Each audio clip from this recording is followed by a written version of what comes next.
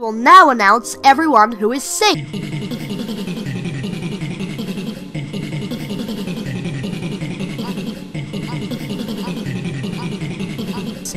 I will now announce everyone who is safe.